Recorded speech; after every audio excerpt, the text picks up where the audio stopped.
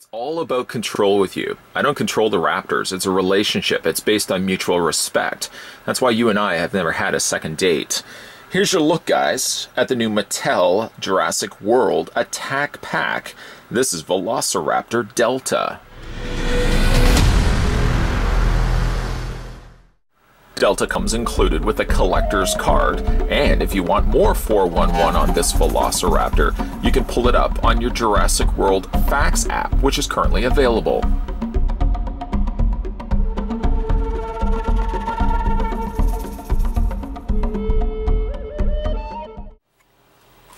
First thing we're going to do is figure out how big Velociraptor Delta is. Now I'm going to take the tape measure and it's going to go right to the very tip of her nose and putting to the very tip of her tail. We'll stop the tape measure right there. That's as good of a place as any. From snout to tail, you're looking at a dinosaur 6.6 inches in height or length. Switching that to centimeters, I can certainly do that for you as well. 16.8 centimeters. I'm sure somebody will also ask, can you do that in the height of the figure as well? Well, I can certainly more than happy to oblige the mob. Taking the tape measure, the Ultra Measure-Tron 5000 to the very top of her head, you're looking at the dinosaur now height-wise 3.9 inches, about 4 inches in height, which in centimeters works out once again to being 9.9, 0.9, 9.9 centimeters tall. Before we proceed, I certainly want to give a big thank you to viewer Bill, who was nice enough to send this, along with a whole slew of new Jurassic World goodies. Thank you, Bill. Thank you very much. The first thing we're going to have a look at, though, is the collector's card that comes included with Velociraptor Delta. Now, unfortunately, they do tape these to the back of the card insert. So when you are taking this out of the clamshell, just be careful you don't rip that off. You would hate to damage both the front or the back. Certainly the stat side of the card, you don't want that to get ripped and damaged. Luckily, no damage here. The Velociraptor Delta listed on the top left corner, uh, followed by some series of stats. Strength-wise, only at 7 out of a possible 10. Speed, no surprise at all, is 9 out of 10. Uh, brain, very something worrisome if you were to confront a raptor in real life. Let's hope we science and curiosity doesn't take us to that point in our lives. The raptor would clearly outsmart most of us. I'm also throwing myself in that comparison. And uh, ferocity, you're looking at 9. So there's a lot of stuff working against you if you think that you could make this a domesticated raptor like you see in the movies, it just it, it's not going to work. It's not going to work. You're not going to go play fetch with it. It's going to mangle you and kill likely everybody you care about. I just want to remind you guys. Science is fun, dinosaurs are fun, but really at the end of the day, these things will devour you. Let's proceed with this review. Uh, having a look at Velociraptor Delta, clearly it does look like it's a case where they've reused the mold from Blue. It certainly does look like it's the same mold that was sporting for Blue, here though done in an almost olive colored green. I'm feeling compelled right now to try to balance Delta onto my fingers. I don't know why I'm needing to do that. There really uh, isn't a whole lot of paint to speak of. The paint, I suppose, what they ended up choosing is a, kind of a nice combination of blues and greens, but there really, again, there isn't a whole lot happening right here for paint. We'll start kind of working our way with the head first, and then we'll kind of work our way down until eventually we get to the tail. I will tell you, though, I don't want to ruin the end of this movie, but there's not really a whole lot exciting happening to the end of the tail. Oh, I just gave it away. Oh, I just gave it away. Having a look at the head sculpt, though, again, very nice head sculpt, even if this is a reuse to an existing dinosaur we already have in our collection. The tongue, as well as the inside of the mouth, are painted nicely in pink. Bit of a jarring, unfortunate line there where you can see that if you close the mouth to a certain place, the pink carries all the way to the back of the mouth. You can see it right there. When you do open the mouth slightly further, well, we also have this big circular piece right there. But you also notice, unfortunately, unfinished paint right at the back there. Wish that they could have just gone in there, knowing that most people will probably want to... It's not special effects, I did that with my mouth. Uh, would have loved if this could have also been finished. I'm sure most people would probably want to see that finished. Little tendons also on the side of the mouth. Look like they probably could have afforded some additional pink right there. That sort of got left out. At the very least, though, teeth, check. Tongue, check. Eyeballs, check. At least the main requirements were all checked off the list here. As you can see, the eyeball has been done. Probably just, again, a single coat of paint. Maybe a second coat would have gone a little bit further.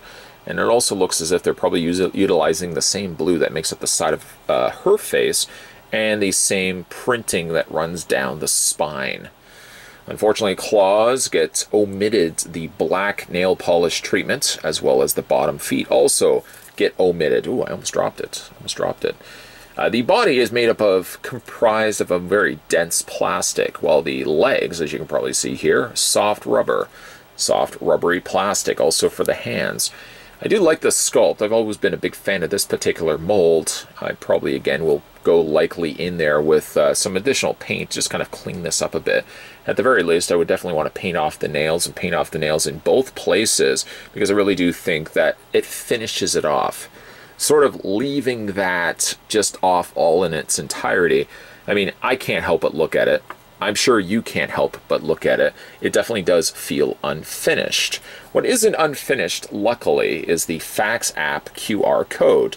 Scanning that with your phone, I'll do that in a moment, you'll be able to open up Velociraptor Delta. Now, I don't know if it will say specifically, I'm asking questions that will eventually lead to an answer. I just have to like wait it out. I wonder though if the app will tell us Velociraptor Delta or if it will just open up yet another Velociraptor. Stay tuned. On the other foot, though, we've got the traditional Jurassic Park stamped impression, if you get the impression right there. Uh, again, very much a tried and true go-to dinosaur. Um, I believe this has been now used twice, possibly even more. Um, but again, the mold works well. If you know, stick with what works. If it ain't broke, don't fix it. Isn't that what they say? And uh, certainly this mold is not broken. Paint might be slightly omitted, but at the very least it's definitely not broken. So let's have a look at this dinosaur. We'll just bring the camera back a little bit. Look, look at the dinosaur's articulation. Well, the mouth does open and close. Unfortunately, due experiencing some sense of unfinished business there on the interior of the mouth. The hands rotate back and forth, or the claws rotate all the way around on the arms. There we go. And uh, for some reason, I, I notice when you bring the arm this way, it wants to start moving backwards, all on its own control. Ghost present in this reviewing area? Possibly. It's not something I really like to give much thought to. Uh, but the arms rotate all the way around, legs hinge back and forth, they swivel, they should swivel, they should swivel. Uh, there is a little cut right there, but I can't actually get the foot to swivel unless they molded it shut. I don't know why they would have necessarily done that. Uh, and then also the tail. The tail should have a swiveling point as well. I'm basing this solely off of the review of Blue, and yet seems like the cut on the tail and the cut on the feet are almost non-existent. It's almost like they just trimmed off that unless I'm just creating scenarios that weren't there. Maybe Blue never had swiveling on the feet. I'm certain there's the cuts right there. The proof is in the cuts. Isn't that what they say? Pudding? Yeah, okay, so it's maybe pudding. Either way, I can't be too hung up on that because really, the dinosaur only stands a certain way. Moving the tail, moving the feet, hands is not so much an issue not really much an issue there. But moving the feet, anything past this point, guarantees that the dinosaur is sadly going to fall over. I don't want that, so I'm going to obey the molding, the way that the molding has dictated me to display the dinosaur, and I'll just leave it at that. What I'm certainly not going to leave, though, is scanning the QR code for Velociraptor Delta. I'm curious. I want to know if it's going to open up as a Velociraptor or specifically Delta. So I'm going to go into the scan portion. I want to also mention that lately, the last few times that I've used this, these little buttons on the bottom, I don't know if this app is requiring an update, the buttons on the bottom are a little harder and they're not as responsive as they were before. Needless to say, this reviewer is going to scan the QR code, the dinosaur code, if you will, and let's see if it's Velociraptor Delta. Well, it isn't Delta necessarily. We do now have the Dino Rivals banner around the top section there, and it's just listed as Velociraptor. In fact, actually at the top there, it says Velociraptor 1 of 8. Let's go in and find out some more stats on the Delta here. Now, this one we already have opened. In the film, she's responsible for the death of Vic Hoskins. Hoskins. The ones we still have to check out, though, is when Blue is seemingly killed, Delta is the first to attack Indominus Rex. Probably why a lot of people remember Delta so much. And last but certainly not least, in the film, she is the second Velociraptor created by InGen. There you go. Uh, like I said, though, going into collection, I find like these buttons, as you can, they're not the most responsive. I'm Wondering, I hopefully don't have to reinstall the program. sort of where we've left off. Got many of the Jurassic World dinosaurs. There are a few that I unfortunately still have not scanned through. Uh, here is the very barren wasteland of Dino Rivals. Yes, there's still a fair bit that I have to go through and catch up on, but those certainly will come, hopefully, in future reviews. Introduced in the original Jurassic Park film, but not really given full personality until Jurassic World, all the raptors that were featured in Jurassic World had like unique traits to them. The real standouts, obviously, are Blue and Delta here. I'm thrilled for the fact that we finally get ourselves a Delta. Feel like we did get one before, but again, memory as it is, as you get a little bit older, there's things that you certainly forget. I certainly don't remember reviewing a Delta. I know there was kind of just Velociraptor, and of course there was Blue. Delta we can now add to the mix. Still a nice looking dinosaur, even though really it's making use of an existing mold that we've gotten at least from, as far as I know, two times before.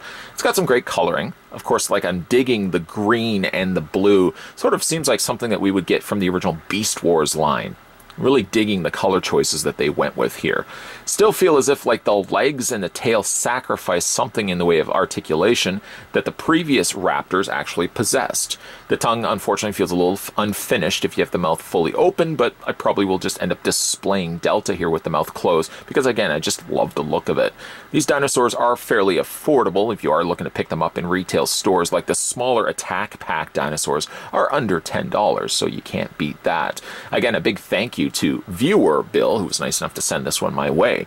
Today we were having a look at the Jurassic World, this was the Dino Rivals, Velociraptor Delta.